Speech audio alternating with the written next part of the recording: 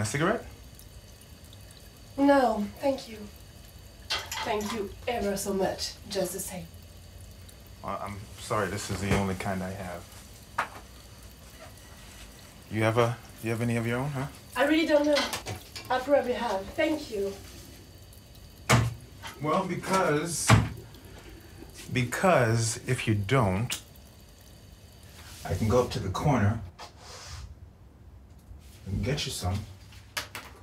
Oh, thank you. It's awfully sweet of you to think of it. But I wouldn't have you go to all that trouble for anything. Thank you ever so much. Well, for God's sakes, would you stop thanking me so much? Really? I didn't know I was saying anything out of the way. I'm awfully sorry if I hurt your feelings. I know what it feels like to get your feelings hurt. I'm sure I didn't realize it was an insult to say thank you to a person. I'm not exactly in the habit of having people swear at me because I say thank you to them. I didn't swear at you. Oh, you didn't? I see. God, all I asked was if I could go out and get you some cigarettes. Is that anything to get all up in the air about? Hmm? Who's up in the air? I'm sure I didn't know it was a criminal offense to say I wouldn't dream of giving you all that trouble. I'm afraid I must be awfully stupid or something. Do you want me to go get you some cigarettes or not? Goodness! If you want to go so much, please don't feel you have to stay here. I wouldn't have you feel you had to stay for anything. Ay, ay, ay, ay, ay. Come, come. Hey, come on, please don't be that way. Be what way? I'm not being anyway. What's wrong, huh?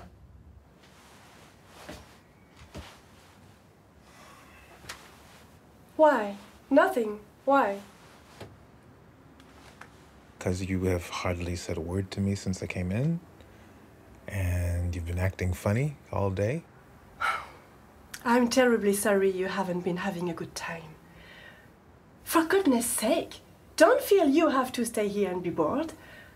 I'm sure there are millions of places you could be having a lot more fun. The only thing. I'm a little bit sorry. I didn't know before, that's all. When you said you were coming over tonight, I broke a lot of dates to go to the theater and everything. But it doesn't make a bit of difference. I'd much rather have you go and have a good time. It isn't very pleasant to sit here and feel like you're boring a person to death. I'm not bored. I don't want to go anywhere. Love, would you just tell me what's wrong? I haven't the faintest idea what you're talking about. There isn't a thing on her the matter. I don't know what you mean. Yes, you do. Something's wrong.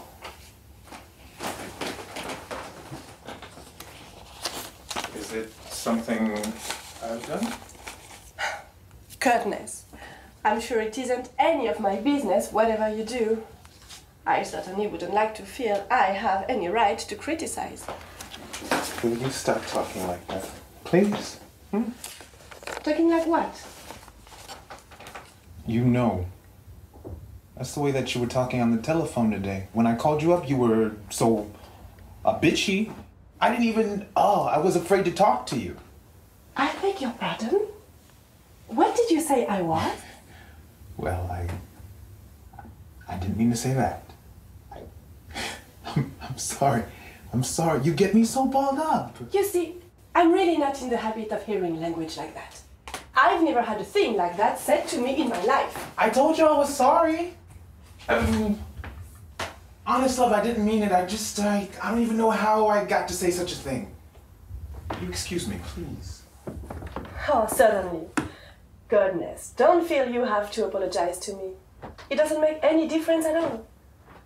It just seems a little bit funny to have somebody you were in the habit of thinking was a gentleman come to your home and use language like that to you, that's all.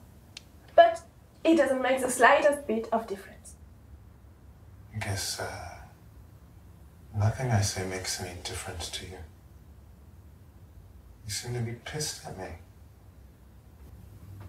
Am I pissed at you? I can't understand what put that idea in your head. Why should I be pissed at you? Well, that's what I'm asking you.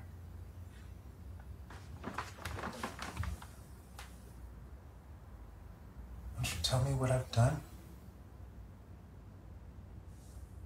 Have I done something to hurt you?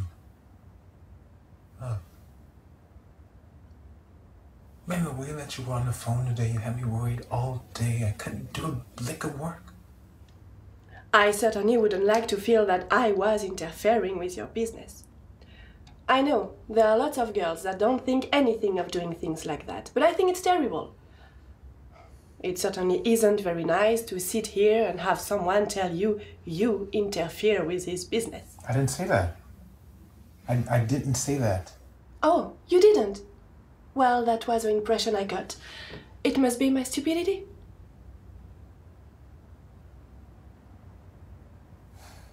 Guess uh, I better go. Can't seem to get right. Everything I seem to say seems to make you angrier and angrier. Please, do just exactly whatever you like. I'm sure the last thing I want to do is have you stay here when you'd rather be someplace else. Why don't you go someplace where you won't be bored? Why don't you go up to Florence Leaming's? I know she'd love to have you. I don't want to go to Florence Leaming's. Why would I want to go to Florence Leaming's for? She gives me a headache. Really? She didn't seem to be giving you so much of a headache at Elsie's party last night, I noticed.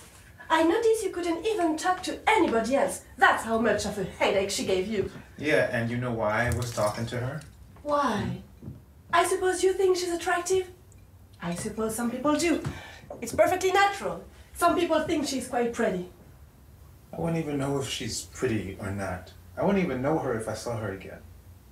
The reason why I was talking to her last night was because you wouldn't give me a tumble last night. I came up to you and tried to talk to you, and you just said, Oh, how do you do? Just like that. oh, how do you do? And then you turned right away and wouldn't even look at me. Oh, I wouldn't look at you. that's awfully funny. Oh, that's marvelous. oh, you don't mind if I laugh, do you? Yeah, go ahead, laugh your head off. But you wouldn't. Well, the minute you came into the room, you started making such a fuss over Florence Leaming. I thought you never wanted to see anybody else. You two seem to be having such a wonderful time together. God knows I wouldn't have butted in for anything. My God. This, uh, what's her name, girl? She came up and started talking to me before I saw anybody else. And what could I do? I couldn't sock her in the nose now, could I? I certainly didn't see you try. Oh, you saw me try and talk to you, no? And what did you do? Oh, how do you do? And then this, uh, what's her name girl came up again, and there I was stuck. Uh, Florence Leaming? I think she's terrible. You want to know what I think of her? I think she's stupid. That's what I think. Well, of course. That's the impression she always gave me. But I don't know. I've heard people say she's pretty. Honestly, I have.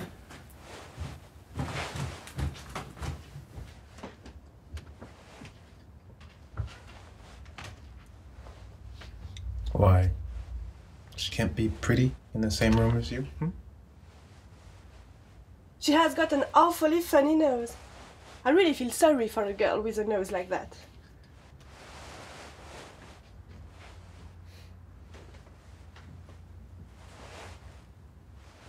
She's got a terrible nose. You've got a beautiful nose. Oh, I have not. You're crazy.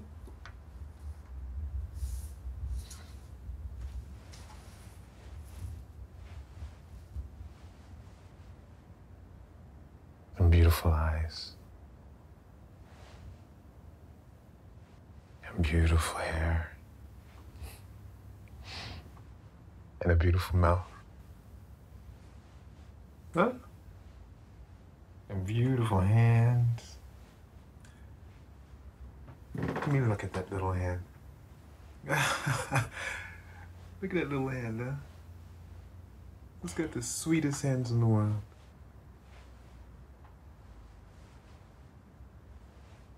Who's the prettiest girl in the world? I don't know. Who? Oh, you do so to know. You do know. I do not. Who? Florence Fleming? Oh, Florence Fleming. Getting pissed about Florence Fleming. And I couldn't sleep all night, and I couldn't do a stroke of work all day because you wouldn't talk to me. Girl like you. Getting sore about Florence Fleming. I think you're just perfectly crazy. I was not sore. What on earth ever made you think I was? You're simply crazy. Oh! My new pearl beads. Wait a second till I take them off. There.